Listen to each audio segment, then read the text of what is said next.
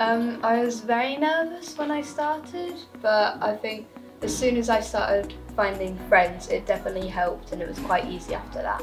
Yeah, I was 100% 100% nervous. Nervous. Like, it's like Yeah. such a big school. And again, yeah, what the helps? prefects are there to help. Yeah. Like, the prefects are, like, picked to be prefects. Yeah, and like Uh-huh. then you they also don't got, they don't pick prefects if they won't help you and you know won't support you in Yeah. ways that you need. and then you what like what helped me get through like all the nervousness has got the SFC, yeah. so they will support you. They're like the loveliest people in there.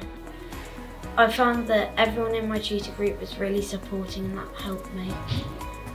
Yeah, after like the first like like week, I was like completely fine. So I don't think like anyone should be like really nervous at all. Um, I was nervous but also excited and also sad at the same time because I was leaving my primary school that I've been to for like five years. Um, I was also nervous because I didn't know what it was going to be like and how the experiences were going to be. Um, and I don't know about you guys, but it was it was it was quite good when we got here. Yeah.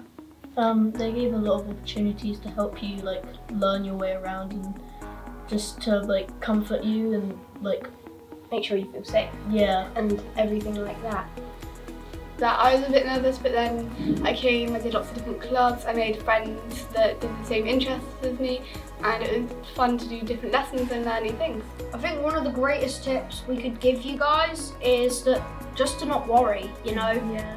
Even though transition is difficult, there's the the amount of support that Penrice can offer will make those worries seem like nothing. Hmm. And you guys Yeah, can agree yeah. with this. It's like Like, looking back now, I don't even know why I was scared. Yeah,